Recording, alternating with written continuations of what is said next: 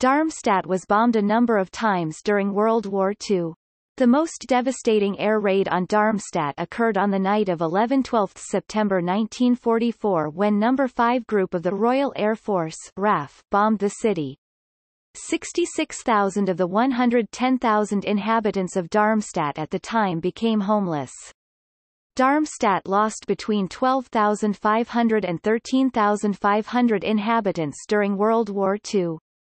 The calligraphic memorial Darmstadter Brandnamen lists about 4,000 names.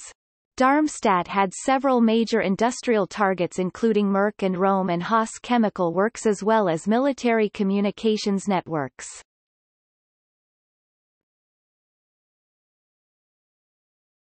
Topic. Minor raids On the night of 23-24 September 1943 Darmstadt was bombed by 21 Avro Lancasters and 8 de Havilland Mosquitoes of No. 8 Group RAF as a diversionary raid to draw night fighters away from the main 628 aircraft raid on Mannheim. On the night of 24-25 April 1944, some RAF planes bombed Darmstadt and other towns when, due to low cloud, they failed to find the main target of the night which was Karlsruhe. An attack on the night of 25 526 August 1944 by No. 5 Group RAF failed when the master bomber had to return to base and his deputies were shot down en route. The Pathfinder illuminating force flares fell too far west. As a result, most of the main force did not bomb at all, with some diverting to bomb Rüsselsheim instead.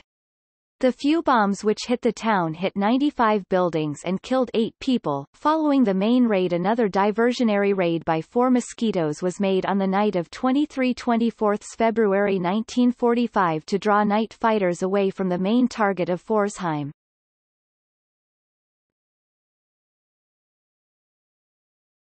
Topic. Main raid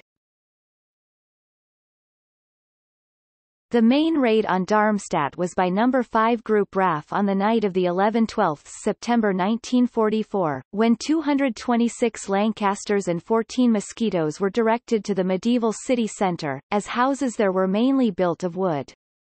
The raid was to incorporate a new technique where, instead of bombers flying along a single path across the target, the bombers would bomb along a fan of paths over the city.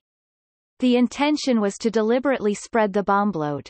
The attack started a fierce fire in the center and in the districts immediately to the south and east. The destruction of dwellings in this area was almost complete. The RAF lost 12 Lancasters, 5.3% of the bomber force, having encountered an unusually large number of German fighters. Among industries known to the RAF in Darmstadt, the Röhm and Haas chemical works was not destroyed, while the E. Merck Chemical Works was badly damaged, and additional damage resulted in a loss of production of about one month work by the local metal production and fabrication industry. Royal Air Force Bomber Command's 60th Anniversary Campaign Diary for September 1944 states, the Darmstadt raid, with its extensive fire destruction and its heavy casualties, was held by the Germans to be an extreme example of RAF terror bombing and remains a sensitive subject because of the claimed absence of any major industries in the city. Bomber Command defended the raid by pointing out the railway communications passing through Darmstadt. The directive for the offensive against German communications had not yet been issued to Bomber Command, although advance notice of the directive may have been received.